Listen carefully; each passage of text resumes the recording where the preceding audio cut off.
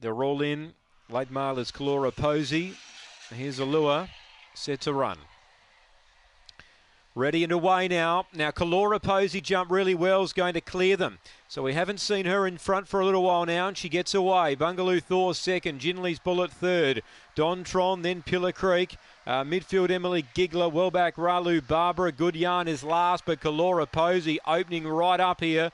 Gets right away from Ginley's Bullet, and Kalora Posey for late mail followers wins. Ginley's Bullet second, Bungaloo Thor third, Don Tron four. Then Ralu Barbara, Emily Gigler, and Good Yarn was last home today.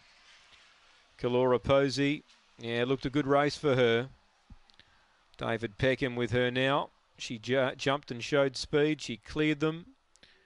Was able to race away for a solid win. Ginley's Bullet second. And Bungaloo Thor runs third, number seven. But uh, Kalora Posey, real class drop for her. Just needed to get out quicker than what she had been, and once she led, well, they were never ever going to beat her. 23.20 the time. It's a new PB for her. She smashes her previous best.